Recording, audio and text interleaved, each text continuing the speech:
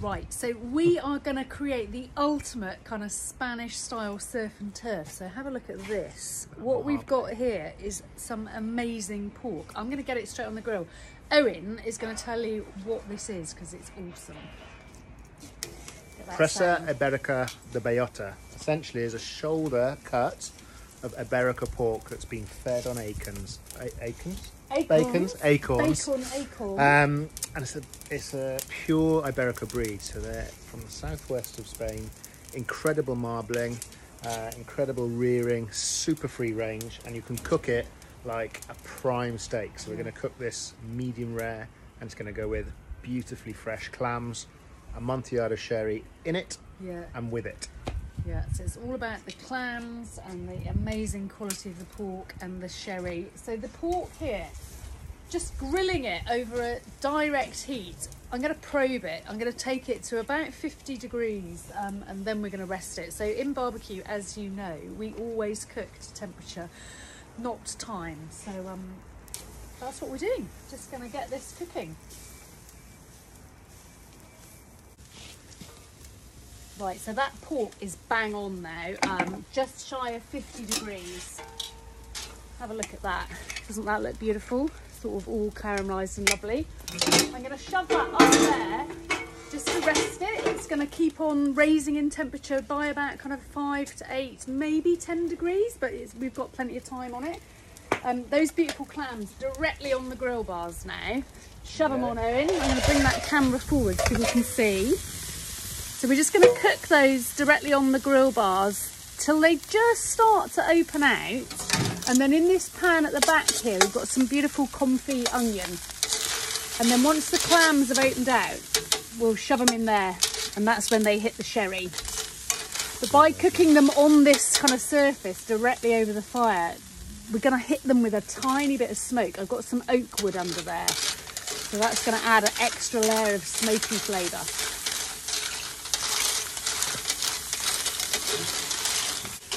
Right, those clams are ready now to shove in that pan. Opening up nicely. They look beautiful, smell amazing. Um, Owen, sherry. Okay. Bring on the sherry, sherry monster. Put your caramelised onion. Your clams are going to release those beautiful juices there to get that Get that fella in. seaside feel. Woo, Get this fun. lovely. You bring you forward so you can There see. So that was a really generous slug of sherry. What do you reckon? 100 Good. mil?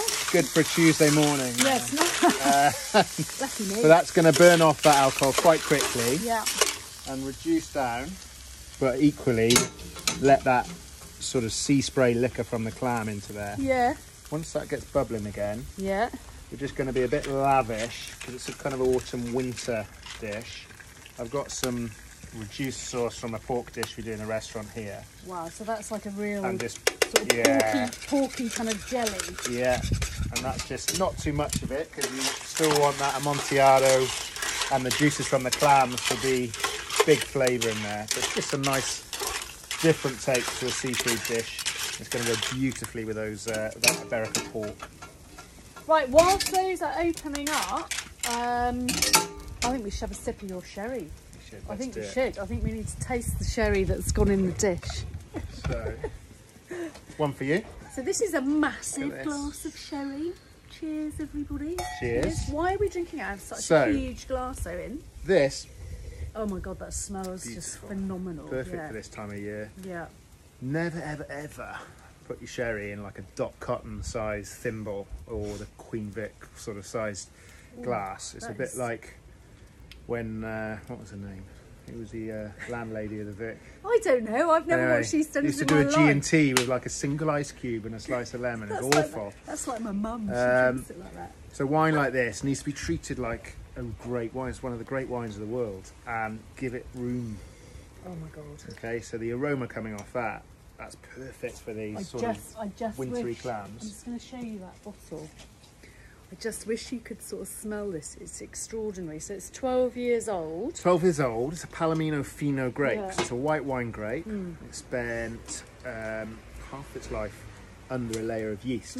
So it's sort of eating that sugar, eating residual sugar and alcohol. I mustn't forget the clams because I'm getting too. And when that yeast layer dies away, you get this beautiful sort of light mahogany for Yeah. colour, which of course changes the flavour of the sherry yeah, completely then. yeah, So you should some sort of say um, white wine, bone dry sherry notes, but equally it's sort of a bit richer, nutty. which really suits my palate actually because I like um my favourite sherry is kind of like a really deep, dry kind of Yeah. Oloroso. I love that kind of richness, Yeah, probably yeah. because I'm a red wine drinker rather Yeah, than a yeah. white wine drinker. So I like that kind of and this is that sherry in between. with nuts. Yeah, you know, exactly. That's, kind of what I like. But here you're getting that sort of dried orange yeah, peel, it's beautiful. um, sort of uh, still Mm. got almond, roasted almond notes in in it. Um, it's perfect with things like pork, Yeah, things like tuna. yeah, Uh, at the moment, mushrooms would be great with, but things like clams, you'd obviously put a fino or a manzanilla with normally Mm. super dry white style. But I just think with this kind of surf and turf dish, just brings it this together. has that doesn't best of both. Connects it. Yeah, A wintry feel, perfect with it. Fantastic. I think we're ready. I think we are. Please. So we covered those clams just um just to help them open up. We just put a cloche over them. You could use a piece of foil, you know, whatever. Um, show the clams to the camera. Beautiful. Don't they look awesome? They look really good. and then grab that little bit of pork. Beautiful pork, also awesome. This dish couldn't be simpler actually. So we're just going to um, I'm just going to slice that open so you can see. That's lovely and kind of rare in there, which is just how we want it. So now we're going to take it, we're going to slice it across the grain. That's really important with um, with meat cooking. Um, I'm wondering if I've got time to talk about slicing across the grain. Yeah, I'm just just going to do it really quickly. Right, meat fibres like this, running kind of um, across. If you slice them through the grain, you've already got like little sections of meat fibres. If you slice with the grain, you've got long bits. So going through the grain, automatically the perception of tenderness is greater. The meat is not any more tender, it's just you're kind of helping that chewing process almost. So yeah, it's going to slice that up and get that on top of our clams. And then I've got some fennel tops um, that I picked on my allotment yesterday. And that's just going to add a tiny little hit of freshness with, with fire cooking. I mean, with all cooking actually, but with fire cooking, I often add a kind of hit of fresh herbs at the end. It just wakes everything back up again, and that is um, that's a really beautiful thing. So that looks amazing. Let's get some of those clams on top so people can see them. Put a touch, because it was quite a thick cut as well. Yeah, Just because you were cooking it Yeah. quite quickly, yeah, and the salt hasn't only on the infiltrated. outside because it hasn't. Yeah, it won't go through. Don't need too much because it's a obviously little bit. the salt in the clams.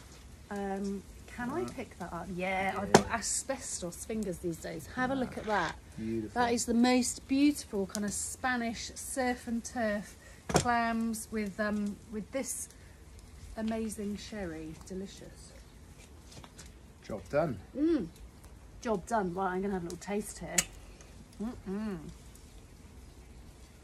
Go for it all in one. Very nice. Mm. That is awesome. Mm. mm, got that nice little aniseed Yeah, I think the, you're right I think the the, aniseed with the fennel really, really worked. freshness with the rich onions and sherry and mm. jus.